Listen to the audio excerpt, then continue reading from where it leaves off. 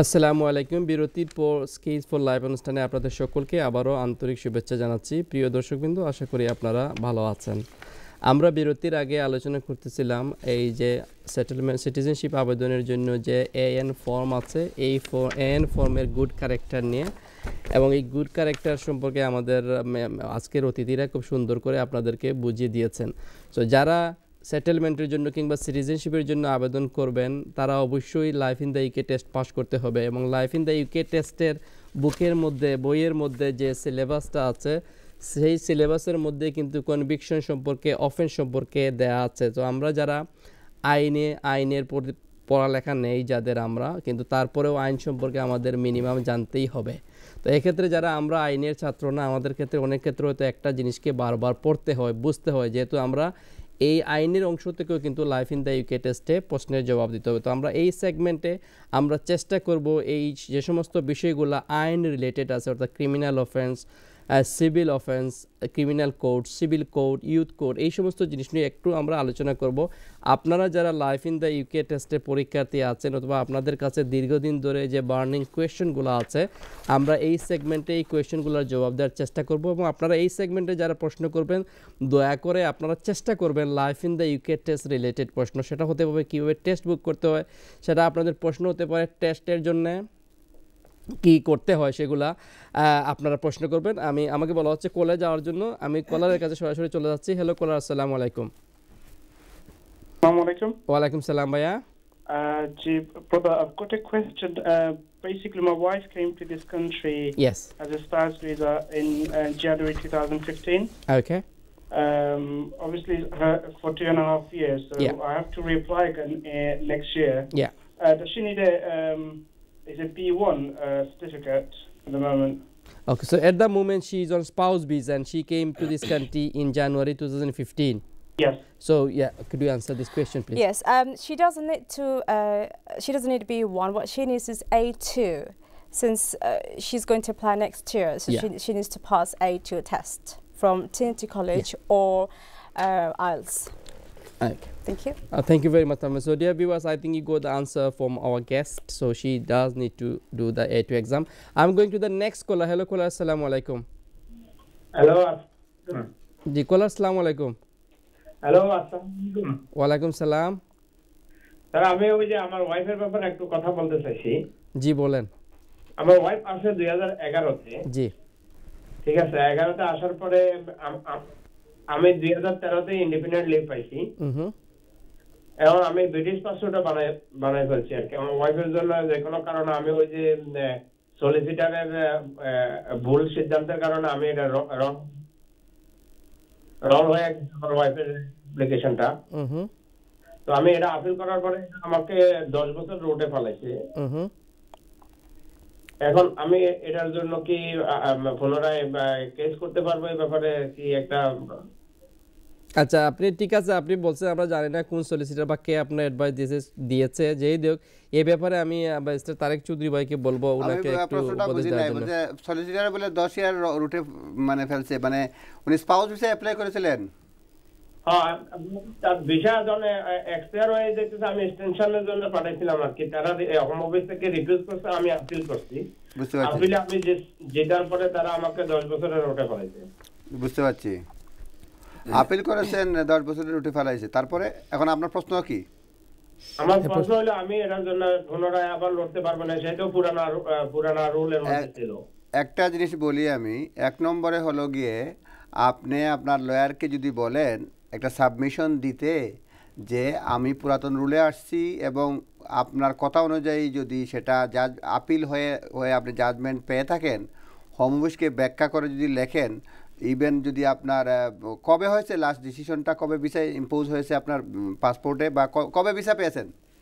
Visa জুনে গত বছরের জুনে পাওয়া গত বছরের জুনে দেরি হয়ে গেছে। তারপরেও যেখানে যেদিন আপনার কার্ড দিয়েছে অথবা রিফিউজাল যেটা আছে হ্যাঁ ওইখানে নিচে দেখবেন কেস ওয়ার্কারের নাম ঠিকানা আছে। ওই ঠিকানায় আপনি যদি পাঠান অথবা স্ট্যান্ডার্ড ঠিকানায় পাঠান যে এই কারণে হয়েছে তোমরা রং ভিসা দিয়ে দিছো আমার পুরাতন নিয়মে দেও। তাহলে হোম অফিস যদি সদয় হয় আল্লাহ রহমত হয় একটা ব্যবস্থা হতে পারে। বুঝছেন? এই রাস্তায় যেতে পারেন আর না হলে তো বসে আছেন।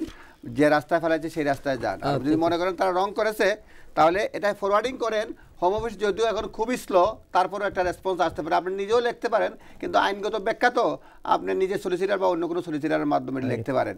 যদি আপনি মনে করে থাকেন তারা রং করছে এক্ষেত্রে হোম অফিস অনেক সময় বেশিরভাগ সময়ই ব্যাখ্যা দেয়। কিন্তু এখন যেহেতু স্টাফ কাট হয়েছে অনেক সময় দেরি হতে পারে। তারপরেও একটা দেন দেওয়ার পরে আবার লোকাল এমপিকে দিয়ে দেন। এরপরেও যদি দিতে চান আপনার পয়সা থাকে আপনি জুডিশিয়াল রিভিউ করার। অনেক রাস্তা আছে সুতরাং কিন্তু সময় লাগবে পয়সা লাগবে। আশা করি আপনি এ ব্যাপারে একটা অ্যাকশনে যাবেন। থ্যাংক ইউ ভেরি মাচ অনেক কোলার লাইনে আছে। তারেক ভাই আপনার কথা শুনে। আমি নেক্সট কোলারের কাছে যাচ্ছি। হ্যালো কোলার আসসালামু আলাইকুম। হ্যালো সালামালাইকুম। ওয়ালাইকুম সালাম ভাইয়া। ভাই আমার দুইটা প্রশ্ন ছিল। ওকে হোক প্লিজ একটা হচ্ছে ন্যাচারালাইজেশন নিয়ে আর একটা হচ্ছে বি ওয়ান জি, জি, বলেন। ন্যাচারালাইজেশনটা করছি প্লিজ হ্যাঁ বলেন। আমার প্রশ্ন হচ্ছে আমি December two thousand twelve a spouse বিষয়ে আসছি ওই দেশে। হ্যাঁ হ্যাঁ। এবং সেভেন্টিন মার্চ টু থাউজেন্ড ফিফটিনে হুম পেয়েছি। হ্যাঁ হ্যাঁ। সো এখন আমি ন্যাচারালাইজেশনের জন্য অ্যাপ্লাই করব। আমাকে কি তিন বছর পরে ইনডিফিনিট পরে বারো মাস ওয়েট করতে হবে নাকি আমার তিন বছর রুট পুরো হয়ে গেলেই আমি অ্যাপ্লাই করতে পারব? কারণ আমার ওয়াইফ ব্রিটিশ আছেন। Okay thank you very good question আপনাকে সলিসিটার তাহমিনা আসসালামু দিচ্ছেন। আপনার তিন বছর হয়ে গেলে আপনি করতে পারেন যদি আপনার ওয়াইফ ব্রিটিশ কারণ আপনি যদি সেটেলমেন্ট হয়ে গেছে বারো বছর অপেক্ষা সরি বারো মাস অপেক্ষা করা লাগবে না। যখনই আপনার থ্রি ইয়ার্সের কোয়ালিফাইং পিরিয়ডটা হয়ে যাবে সেদিন আপনি অ্যাপ্লিকেশন করতে পারবেন. Thank you. Very much, caller. I think uh, caller got uh, you very much, caller. Uh, আমি তামিনা বা আপনার কাছে একটা প্রশ্ন করতে চাচ্ছি যেহেতু আমরা বলছি এই সেগমেন্টটা একটু ল বিষয় নিয়ে আপনারা দুজনই আইনের লোক। সো আমাদের এই লাইফ ইন দ্য ইউকে যে টেক্সট বুকটা যেটা আছে আমাদেরকেও কিন্তু আমরা যারা লোয়ার ছাত্র না আমরাও কিন্তু পড়তে হচ্ছে এটা। জানতে হচ্ছে যে আসলে এইখানে কি ক্রিমিনাল অফেন্সগুলা কি বা যে এখানের মধ্যে আমি বই থেকে আপনাকে সরাসরি জিনিসটা এক্সপ্লেনেশনের জন্য বলব আচ্ছা, আমাকে আজকে আচ্ছা, অনেকেই বলেছে আচ্ছা। যে এটা নিয়ে আলোচনা করার জন্য। যে ল ইন দ্য ইউকে তো আমরা এই যে ক্রিমিনাল ল এবং সিভিল ল এই জিনিসটা কোন কোন জিনিসগুলো ক্রিমিনাল আইন এবং কোন কোন জিনিসগুলো সিভিল আইন একটু কি বুঝিয়ে দিবেন? তাহলে আমাদের জন্য সুবিধা হবে যে কোন আইন কোন জিনিসগুলো আমরা বুঝে নিলে যে আমাদের আবেদনের জন্য সুবিধা হবে। আচ্ছা আমরা কিন্তু আগের সেগমেন্টে অনেক হ্যাঁ, কিছু কভার করলাম। এই যে ফর এক্সাম্পল ফাইন যেটা হ্যাঁ তারপরে আপনার মারামারি মার্টার তারপর থেপ্ট এই জিনিসগুলো হচ্ছে ক্রিমিনালের ভেতরে পড়ছে। আর সিভিল সিভিল হচ্ছে পেনাল্টি পেনাল্টির মধ্যে আবার দুটা সিভিল পেনাল্টি কিন্তু অনেক সময় ক্রিমিনাল কনভিকশনের ক্ষেত্রে যদি হয়ে যায় তখন সেটা যদি সেটা ম্যাজিস্ট্রেট কোর্টের থ্রুতে যায় তাই ওটা কিন্তু তখন ক্রিমিনাল হয়ে যাচ্ছে। কিন্তু কিছু থাকে ফর এক্সাম্পল ডেথ হ্যাঁ? তারপর হাউজিং প্রবলেমসগুলো ল্যান্ডলর্ড অ্যান্ড ট্যালেন্টের যে ডিসপিউটগুলো হ্যাঁ? তারপর আবার আপনার এটা হচ্ছে সিভিল ইয়েগুলা। তাহলে আমার প্রশ্ন হচ্ছে বলি আমরা এখানের মধ্যে দেখি যে ক্রিমিনাল কনভিকশনগুলো আমার প্রশ্নটা হচ্ছে যে সিভিল অফেন্স এবং ক্রিমিনাল অফেন্স দুটো তো আলাদা। এখন কিন্তু সিভিল অফেন্সটা কি তাহলে ওই যদি কেউ যদি সিভিল অফেন্স অর্থাৎ ঘর ভাড়া নিয়ে যদি কার কোনো সমস্যা থাকে এবং সেটা যদি ক্রিমিনাল অফেন্সে যায় না ডিসপিউটের মধ্যে থাকে, সেক্ষেত্রে কি তারা সেটা আবেদনে উল্লেখ করতে হবে? ও, যদি হ্যাঁ এখন কথা হচ্ছে লাইফ ইন দ্য ইউকে টেস্টের নলেজের যে আহ, প্রেক্ষাপট সেটা কিন্তু আবার অ্যাপ্লিকেশনের ক্ষেত্রে যে ক্যাটাগরি সেগুলো কিন্তু ডিফারেন্ট এটা হচ্ছে নলেজের জন্য যে এই দেশে আমি যখন থাকব লাইফ ইন দ্য ইউকের যে মেন পারপাস যেটা যে আমার এই দেশের বেসিক লটা জানতে হবে।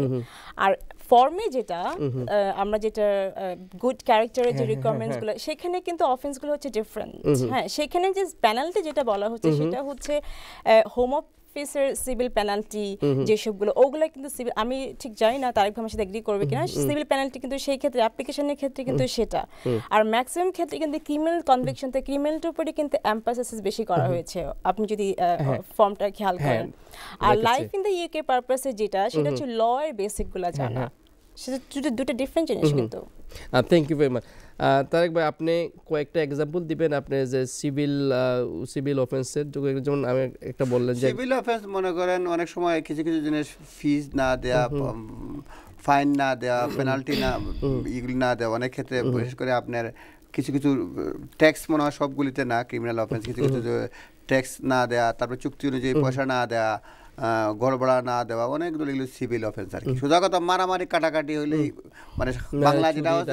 হ্যাঁ সেগুলি ফৌজদারি অফেন্স মানে ফৌজদারি দেশে যেগুলি ফৌজদারি বলে হচ্ছে সেগুলি মানে ক্রিমিনাল আর দেওয়ানিগুলা হচ্ছে আহ, মানে সিভিল এই হচ্ছে ইয়ে। পাওনা টাকা মানে যেগুলির ক্ষেত্রে কারও রাইট আপনি যে চুক্তি অনুযায়ী পয়সা না দেন ভাড়া না দেন এগুলি হচ্ছে নর্মালি সিভিল অফেন্স আর কি। আচ্ছা তাহলে কল নেই। তারপর আমি আসছি। হ্যালো কলার আসসালামু আলাইকুম। ওয়ালাইকুম সালাম ভাইয়া। আচ্ছা ভাইয়া আমার প্রশ্ন ছিল আমি বি ওয়ান করতে চাচ্ছি। আমার বি ওয়ানের সার্টিফিকেটটা এক্সপায়ার হয়ে গেছে। তো এখন আমি অ্যাপ্লাই করব ন্যাচারালাইজেশনের জন্য। হুম। সো এখন যদি আমি বি ওয়ানটা টিনিডির এই ওয়েবসাইট থেকে বুকিং দিয়ে দেই আর সতেরো মার্চের আগে যদি সতেরো মার্চের যে কোনো এক সময় যদি আমি আঠারো মার্চের আগে যদি আমি অ্যাপ্লাইটা করতে চাই তো ওই রেফারেন্সের বুকিংটা দিয়ে কি আমি অ্যাপ্লাইটা করতে পারব? রেফারেন্স বুকিং এর রেফারেন্স দিয়ে? যে আমি আমি পোর্টাকে সার্টিফিকেটটা শো করলাম আর এখন আমি অ্যাপ্লিকেশনটা করে দিলাম। এক- আমার লাইসেন্স ইন দেখে আছে। একটু সেকেন্ড লাইনে না কি হবে? আপনি সেটেলমেন্টে কখন পেয়েছেন? উনি বলছে যে সেটেলমেন্ট পেয়েছে বা উনি এলিজিবল আছে to apply before eighteenth of March তাই উনি এখন লাইভ ওয়ান টেস্ট দেন নাই। 18th of মার্চে কি ন্যাচারালাইজেশনের যে অ্যাপ্লিকেশন করবেন আপনি কিসের জন্য অ্যাপ্লাই করবেন ন্যাচারালাইজেশন না ন্যাচারালাইজেশনের জন্য। হ্যাঁ সেই ক্ষেত্রে সেটেলমেন্ট যদি উনি টু থাউজেন্ড থার্টিনের টোয়েন্টি এইট অফ অক্টোবরের পরে করে থাকে ওনার তো এটা করার প্রয়োজন আপনি কি ইনডিফিনিট লিভ টু রিমেন কবে পাইছেন আপনি? আমি ন্যাচারালাইজেশনের জন্য অ্যাপ্লাই করব। না না জানি আমরা আইএলআর পাইছেন কবে? ইনডিফিনিট লিভ টু রিমেন কবে পাইছেন? সেটেলমেন্টটা কবে পাইছেন আপনি? আরও জনের জিগাই হইরা আর কি আরও জনের আপনি আইএলআরটা কবে পাইছেন? ইনডিফিনিট লিভ টু রিমেন কতদিন আগে পাইছেন বা কোন টেস্ট দিয়ে পাইছিলেন আপনি? 2013 এ থার্টিনের 13 কোন কখন? মাসে আপনি পাইছেন ভাইয়া? 13 থার্টিনের জি? অগাস্ট। 13 আগস্ট। থার্টিনের অগাস্টে না, তাহলে ওকে তাহলে আপনাকে দিতে হবে।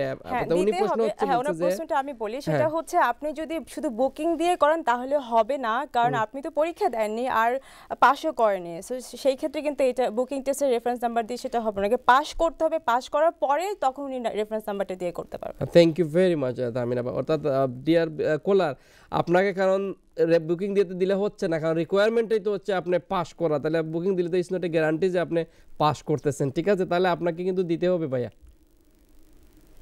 আমি জানি উনি তো ফিসটা অ্যাভয়েড করার জন্য যাচ্ছে বাট এই এই ক্ষেত্রে এটা সম্ভব না। রিকোয়ারমেন্টটা ফুলফিল হয় না। আমি নেক্সট কলারের কাছে যাচ্ছি। হ্যালো কলার আসসালামু আলাইকুম। হ্যালো আসসালামু আলাইকুম। ওয়ালাইকুম সালাম ভাইয়া। ভাইয়া আমি জানতে চাইলাম একটা প্রশ্ন আছে যে আমার। আসলে প্রশ্নটা হইল আমার ওয়াইফের ভিসা ওয়াইফ আসছে সাত আট মাস আগে। তার ভিসা পাইছিল আড়াই বছরের। তো আমি জানতাম চাইতাম যে তার ভিসা শেষ হইব দুই হাজার আঠারোর সামথিং এক দুই মাসও মনে হয়। তো তাই কিটার ইয়ে লাগবো বি ওয়ান কিংবা আপনার লাইফ এন্ড ডিউ এগুলি লাগবো কিনা একটু জানতাম চাইছি ভাই আপনার প্রশ্নের উত্তর তারেক ভাই হইলেই সই। এটু দেওয়া লাগবো আর পরে লাইফ ইন দিকে দিবা কিন্তু এখন থেকে পড়াশোনা চালু করে দিয়ে কোয়া আপনার এই এ টু দিতে হবে এ টু পরীক্ষা দিতে হবে যখন আপনি দিবেন এখন পর্যন্ত একটাই আছে এ টু লেভেলের ইংলিশ এক্সামে পাস করতে হবে আর পরবর্তীতে যখন ইনডিফিনিট লিভ টু রিমেইন বা সেটেলমেন্টের জন্য অ্যাপ্লাই করবেন তখন লাইফ ইন্ডিকে এবং বি ওয়ান লাগবে। যদি আপনার এখন থেকে প্রস্তুতি নিয়ে নেন তাহলে ভালো। লাইফ ইন্ডিকে যদি পাস করে নেন ভালো। কারণ দিন দিন কঠিন করতেছে তো সুতরাং আগে থেকেই প্রস্তুতি নেওয়া ভালো। আপনার এ টু সার্টিফিকেট লাগবে। Thank you thank you very much Tarek ভাই। আর তারেক ভাই আপনার কাছে একটা প্রশ্ন আমি করি। এই যে life in the UK test যারা আমাদের কাছে পড়াশোনা করেন বা বিভিন্ন জায়গাতে যান তারা প্রায়ই একটা জিনিস অনেক সময় প্রশ্নের মধ্যে তাদের মধ্যে থাকে যে জাজ এবং জুরি বা জুরোর সম্পর্কে। যে এই কি? একজন জাজ এবং জুরির মধ্যে পার্থক্যটা কি? জুরি কারা? এই যে জুরি সিস্টেমটা আপনারা তো প্রতিদিনই কোর্টে যান। এই যে জুরি সিস্টেমটা কি সুন্দর করে আমাদের দর্শক এবং দর্শক ছাড়াও আমরা যারা দরকার নেই যারা তাদেরকে একটু বুঝিয়ে দিবেন? হচ্ছে যারা মানে জুরিরা কিন্তু বিভিন্ন পেশা থেকে এটা র্যান্ডম সিলেক্ট করে নেওয়া হয়। ইলেকট্রাল রেজিস্টার থেকে। Register register. থেকে নিয়ে নেওয়া হয়। তারা কিন্তু লে পারসন তারা কিন্তু লিগেল ম্যাটার্সে কোনো ধরনের এটা জাজ ওই জুরির কাছে জিজ্ঞেস করে মানে জুরি মানে সব ট্রায়ালে শুনেন খালি শুনেই যান। প্রথমে একটা শপথ নেন তারপরে তারা রেগুলার ট্রায়ালে যান বারো জন। তারপরে যান যাওয়ার পরে লাস্টের দিন তাদের মধ্যে থেকে একজন মেজরিটি যেটা দেয় গিলটি ওর নট গিলটি তারা ডিসিশন দেন। মেজরিটি ডিসিশন অনুযায়ী কোর্ট ভার্ডিক দেন। এবং পরে সেন্টেন্সিং গাইডলাইন্স হয় জাজ হচ্ছেন যিনি চেয়ারে বসেন চেয়ার করেন তিনি জাজমেন্ট দেন, কিন্তু মানে গিলটি ওর নট গিলটি এই যে অপিনিয়নটা এটা কিন্তু ট্রায়ালের বেসিসে যখন বারিস্টার বা মানে বারিস্টার বিশেষ করে ক্রাউন কোর্টে যখন জেরা করেন ক্রস এক্সামিনেশন করেন, দুই পার্টি সব কিছু করে শোনার পরে তখন অপিনিয়ন নেন। ইংল্যান্ডে হচ্ছে বারো জন জুরির থাকে আর স্কটল্যান্ডে পনেরো জন এখানে বইয়ের মধ্যে হ্যাঁ, দেওয়া স্কটল্যান্ডে আমি এক্স্যাক্টলি নাই আমি মানে jurisdiction নেই সুতরাং এখানে মেজরিটি যারা তারা দিবেন এবং যে কোনো ক্যাটাগরি থেকে তারা ইয়ে করতে পারে আর কি। মানে এই নিতে পারে র্যান্ডমলি এবং যেতে হয় এবং যারা যে কেউ যেতে পারেন এবং যারা যাবেন তারা ওই মানে তার person হতে হবে না, হবে। চেক করা থাকে। আগে তো ছিল যে মানে লয়াররা পারবেন না। কোন নাকি শুনছি একজন হাইকোর্ট জাজ জুরি হিসেবে বসতে হয়েছে। কারণ যখন নিয়ে আসে আপনি হ্যাঁ। যদি কোনো কারণ ছাড়া করেন তারা সমন দিয়ে দেয় এবং এটা অফেন্স আপনি যদি না যান সুতরাং যে কোনো একজন নাগরিক র্যান্ডমলি তাকে যদি। পিক করা হয় হ্যাঁ, মানে তাকে মানে যেতেই হবে। যদি আপনি রিজন দিতে হবে এক্সপ্লেনেশন করতে হবে। যে কেন আমি যেতে পারছি না। আপনি যদি না যান তাহলে আপনাকে অল্টারনেটিভ ডেট দিতে হবে যে আমি ওই তারিখে পারব। কিন্তু দুই তিনবার মানে অ্যাভয়েড করতে পারবেন না আর কি এই হচ্ছে এটা কোর্টের সমন জারি করে আর কি thank you very much Tarek ভাই খুব সুন্দর করে বোঝানোর জন্য। হ্যালো কোলার আসসালামু আলাইকুম। হ্যালো আসসালামু আলাইকুম। ওয়ালাইকুম সালাম ভাইয়া। আচ্ছা ভাই আমার প্রশ্ন হলো আমি life in the UK test দিয়েছিলাম গত বছর টু থাউজেন্ড ফিফটিনে জি। তো পরীক্ষার টাইমে আমার পাশে আমার পরিচিত একজন ছিল ওনার সাথে আমি কথা বলছি। তো এই টাইমে গার্ড এসে আমাকে একবার ওয়ার্নিং দিচ্ছিল। আচ্ছা। এরপর আমি আর কথা হয় নাই। হ্যাঁ, তো আমি পরীক্ষা শেষে আমি জাস্ট আমার কলিগকে বলে যাচ্ছি যে আমার ফিনিশ আমি চলে যাচ্ছি। হ্যাঁ হ্যাঁ। ওই গার্ড এসে আমার পাসপোর্ট নিয়ে গেছে। পরে আমি রেজাল্ট দিতে আমি পাস করছি কিন্তু আমার নামে রিপোর্ট রাখছে তারা বলল ইয়েলো কালার দিয়ে আমার নামের উপর মার্কিং করে রাখছে। তো আমি অ্যাপোলজি দিলাম সরি বললাম অনেক কিছু বললাম। কিন্তু উনি শুনতে রাজি না। উনি বললেন না তুমি করে যাও? চলে যাও। তো এখন কি আমি আমার এই টেন মাস এই বছর আমার সিক্স ইয়ার্স হয়েছে আমি ন্যাশনালিটি অ্যাপ্লাই করতে চাইছিলাম কিন্তু এখন কি আমি করব নাকি আমার নামে একটা সেকেন্ড আমি বলি আপনি টেস্ট দেওয়ার পর আপনার টেস্ট রিপোর্ট আছে আপনি পাস করেছেন। আমি পাস করছি। কিন্তু আপনাকে হ্যাঁ। ওনাদের পেপারে আমার নাম যেখানে লেখা আছে ওইখানে ইয়েলো মার্ক দিয়ে তারা ইয়ে করে রাখছে মার্কিং করে রাখছে। আর যিনি আমাকে টেস্ট রেজাল্টটা দিল, উনি বলল যে, তোমার নাম তুমি কথা বলছো, তুমি এখানে এই জন্য তোমার নামে রিপোর্ট করে রাখছি আমরা।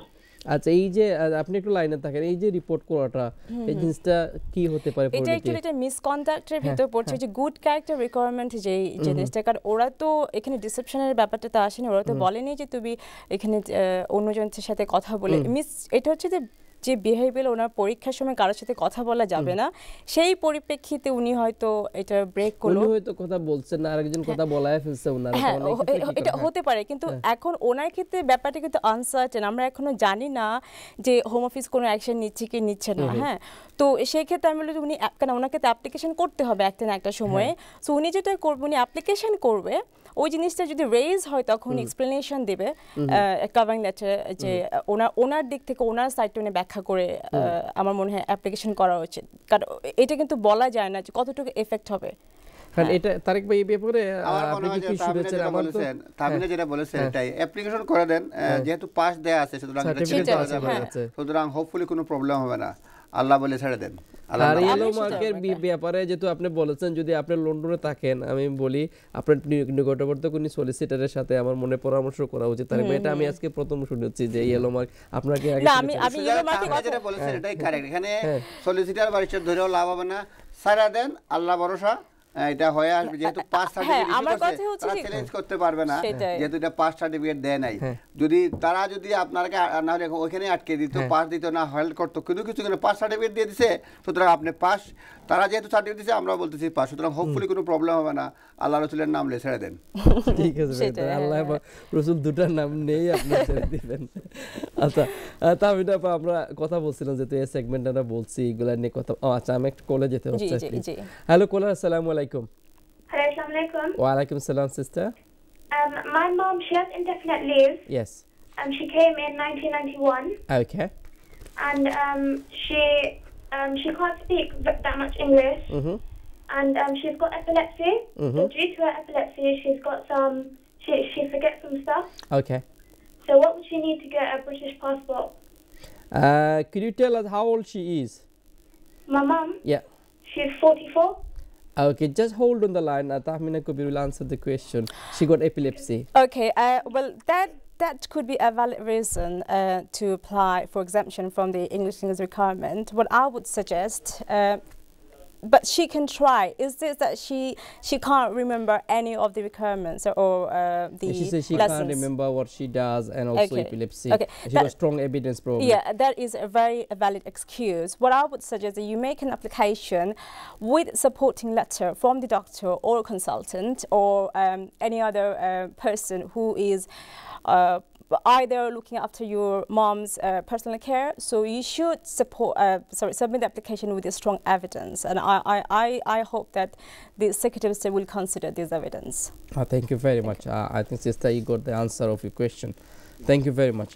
Uh, তামিন আপা আমি আপনার কাছে মানে জাস্ট এক মিনিটে যদি আমাকে একটা আনসার দেন ইউথ কোড সম্পর্কে যে এখানে এই এই বুকের মধ্যে ইউথ কোড সম্পর্কে দেওয়া আছে ইউথ কোডটা আসলে কি কারা ইউথ কোর্টে যায় এবং কাদের বিচার. ওইখানে হয় Okay, youth কোডটা হচ্ছে 11 to 17 years old. It's youth offenders যারা 10 to 17 sorry 10 to 17 um, হ্যাঁ।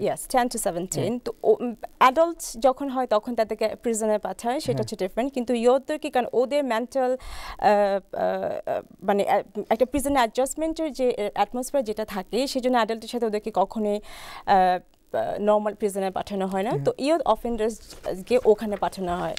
কিন্তু এইটাই নর্মালি ইয়ুথ ইয়ুথ কোড সম্পর্কে আর খুব একটা বেসিক আই থিঙ্ক তাহলে এই নর্মাল পাবলিকরা কি যেতে পারবে লাইফ ইন দ্য উইকেটে একটা প্রশ্ন আছে না যারা রেলেভেন্ট আছে তারাই শুধু যাবে ওই কোর্টে না শুধু রেলেভেন্টরা একটা সার্টেন এজ হ্যাঁ। ওখানে আপনার থাকে ওই সার্টেন এজের উপরে যখন তখন নর্মাল প্রিজনে চলে যায় আমরা আজকে। আইন সম্পর্কে কিছুটা জানলাম আমাদের অনুষ্ঠানে আপনার কাছ থেকে। থ্যাংক ইউ অনেক কলার লাইনে আছে একটা কল নিয়ে নেই তারেক ভাই।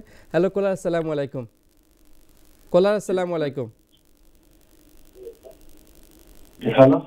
ওয়ালাইকুম সালাম জি জি সংক্ষেপে আপনার প্রশ্ন করল আমার মাত্র মাত্র তিন মিনিট সময় আছে। জি।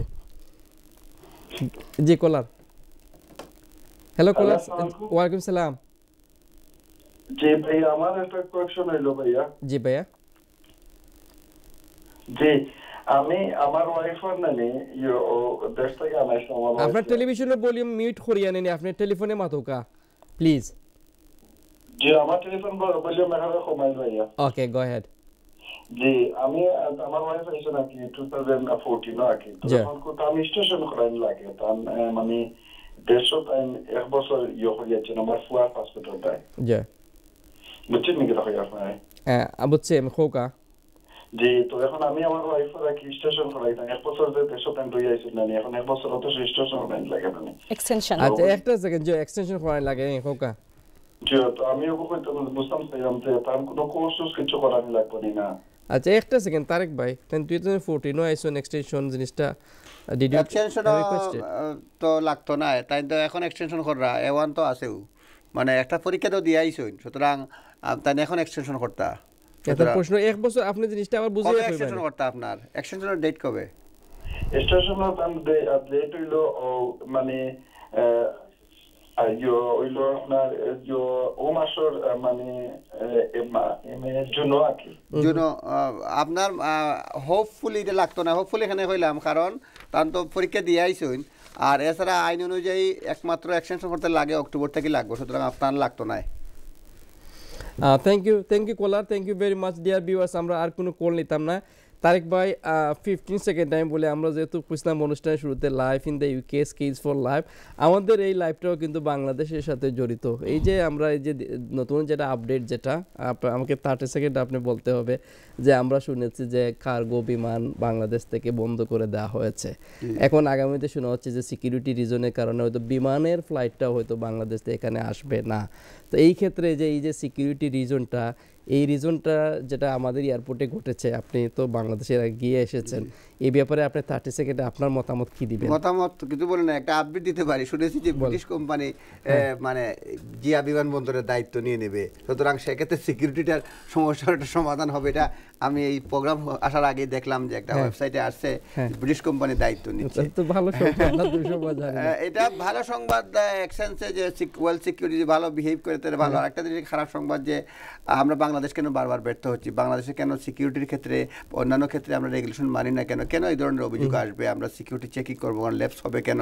এরপরে আরেক জায়গায় দেখলাম যে যা সিকিউরিটিতে রয়েছেন তারা পান খান সিগারেট খান আর সময় মতো পাওয়া যায় না। এটা দালাও সবই না কিন্তু অভিযোগ আসছে। সুতরাং এইসব ক্ষেত্রে আমাদের বেরিয়ে বেরিয়ে আসতে হবে। আর না হলে আমাদের জন্য দেশের জন্য অমঙ্গল।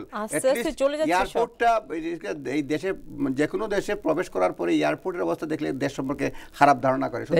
আমরা এভাবে সচেতন হবে এবং যাদের হাতে কর্তৃত্ব রয়েছে যে সময় দেন কর্তা ব্যক্তিরা এই বিষয়টি সুনজর দিবেন যাতে অ্যাটলিস্ট এয়ারপোর্টে নামলেই বাংলাদেশের একটা পজিটিভ মানে দৃশ্য ফুটে ওঠে। Thank you very much Tarek ভাই thank you very much for coming to this show তামিনাপা আপনি আমাদের দর্শকদের উদ্দেশ্যে আজকে আমাদের অনুষ্ঠানে আপনি প্রথম গেস্ট ছিলেন। এর আগে আসেন নাই, আমাদের দর্শকদের উদ্দেশ্যে আজকের অনুষ্ঠানের মাধ্যমে আপনি কি মেসেজ দেবেন তাদেরকে? ওয়েল যেসব কোয়েশ্চেন্স আসছে আজকে যে ডিসকাশন আমি দর্শকদেরকে একটাই বলব যে যেহেতু প্রোগ্রামটি skills for life so life in the UK নিয়ে আমরা ডিসকাস করছি ইংলিশ ল্যাঙ্গুয়েজ রিকোয়ারমেন্ট বা লাইফ ইন দি উইকের যে এক্সামগুলো আমরা আসলে ভয় পাই যে এ ওয়ান দিতে হবে কি না একটু থেকে একটু গ্রেডটা উপরে উঠলে খুব ভয় পাচ্ছি সেটা পাবেন না কারণ ইংলিশটা আসলে ল্যাঙ্গুয়েজ কিন্তু খুব একটা কঠিন কোনো বিষয় না। আমি মনে করি যে ইংলিশ অ্যাকচুয়ালি তুলনামূলকভাবে অন্য ভাষা থেকে অনেক সহজ ভাষা। আর যেহেতু এই দেশে থাকব সবসময়। সো একটু যদি কষ্ট করে ল্যাঙ্গুয়েজ সে গ্রেডটা যতই বাড়ানো হোক না কেন আমার মনে হয় খুব একটা ডিফিকাল্ট হবে না এটা কোপ আপ করার। সো চেষ্টা করে যাবেন সবসময় ল্যাঙ্গুয়েজটাকে develop thank you very much কষ্ট করে আমাদের অনুষ্ঠানে সময় দেওয়ার জন্য আপনাকে অসংখ্য ধন্যবাদ। অনেক ভালো লাগল। আপনাকেও ধন্যবাদ আমাকে আমন্ত্রিত করার thank you so much dear viewers আমরা এতক্ষণ আলোচনা করেছি। আশা করি আপনারা এনজয় করেছেন আমাদের অনুষ্ঠান। আগামীকালকে এই অনুষ্ঠানের রিপিট দেখানো হবে। আপনারা ততক্ষণ পর্যন্ত ভালো থাকুন সুস্থ থাকুন এবং চ্যানেল এসের সঙ্গেই থাকুন। আল্লাহ হাফেজ।